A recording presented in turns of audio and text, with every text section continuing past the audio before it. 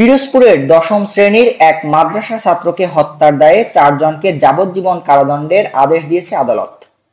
মঙ্গলবার দুপুরে পিরোজপুর জেলা ও দায়রা জজ মোহাম্মদ মুহিউজ্জামান আসামিদের উপস্থিতিতে এ আদেশ দেন।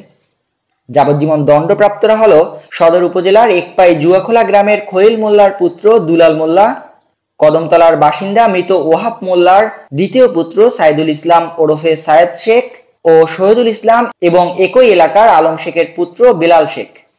মামলার বিবরণে জানা যায়, দুই হাজার সতেরো সালের ছয়ই মে সদর উপজেলার কদমতলা গ্রামের মৃত আলতাফ হোসেনের পুত্র পিরোজপুর ফাজিল মাদ্রাসার দশম শ্রেণির ছাত্র তানবীর আহসান সাকিব ছাত্রলীগের কমিটি গঠন ও পিকনিকের জন্য গণসংযোগ শেষে বন্ধুবান্ধব সহ পোরগোলা থেকে চার থেকে পাঁচটি মোটরসাইকেল যোগে বাড়ি ফিরছিলেন।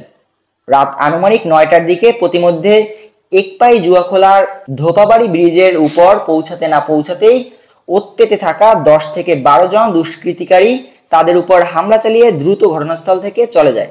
এই ঘটনায় সাকিব ও তার বন্ধু আকাশ এবং সিয়াম রক্তাক্ত জখম হন। স্থানীয়রা আহতদের উদ্ধার করে পিরোজপুর জেলা হাসপাতালে ভর্তি করে। গুরুতর আহত সাকিবের অবস্থার অবনতি হলে উন্নত চিকিৎসার জন্য তাকে খুলনা মেডিকেল কলেজ হাসপাতালে ভর্তি করা হয়। কিন্তু সেখানেও অবস্থার আরও অবনতি ঘটলে ঢাকায় রেফার করা হয়। ঢাকায় নেওয়ার পর প্রতিমধ্যে তার মৃত্যু হয়। এই ঘটনায় নিহত সাকিবের মা দেলোয়ারা বেগম বাদী হয়ে অজ্ঞাতনামা আসামিদের বিরুদ্ধে সদর থানায় একটি হত্যা মামলা দায়ের করেন। মামলার তদন্তকারী কর্মকর্তা এসআই মোহাম্মদ সেলিম মিয়া দীর্ঘ তদন্ত শেষে ঘটনার সাথে জড়িত থাকার অভিযোগে ছয় জনের বিরুদ্ধে চার্জশিট দাখিল করে। এর আগে সাজাপ্রাপ্ত আসামিরা হত্যাকাণ্ডের সাথে জড়িত থাকার কথা স্বীকার করে আদালতে একশো চৌষট্টি ধারায় জবানবন্দি দেয়। বিজ্ঞ আদালত উভয় পক্ষের যুক্তিতর্ক, মামলার পারস্পরিক অবস্থা, বিচার বিশ্লেষণ শেষে এই রায় ঘোষণা করেন।